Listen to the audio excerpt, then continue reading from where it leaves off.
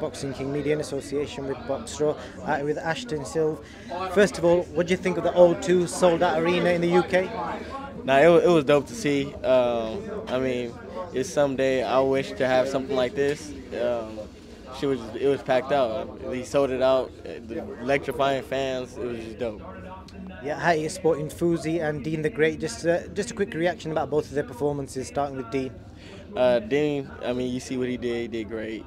Uh, stopped his opponent. Fousey, he did great as well. Uh, from his last fight to this fight, a thousand percent better. He was just incredible.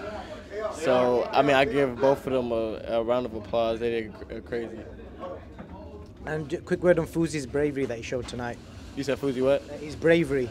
Oh, I mean, crazy. Like, especially from his last fight. I mean, I mean, you probably heard the story about his nose. So like him just getting in the ring, knowing that it's easy for to break his nose, the bravery is just crazy.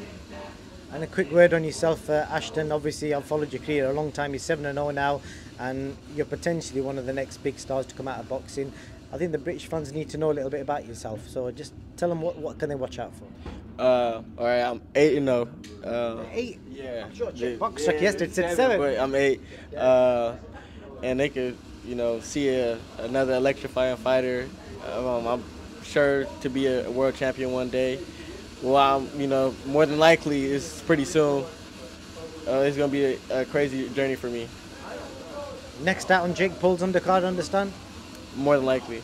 Have you got a date? No, no, not not too soon, but in the works, in the works. Good man, uh, Ashton. I wish you all the best, man. But the fans give this kid a follow. Serious superstar in the making. No, thank you, thank you.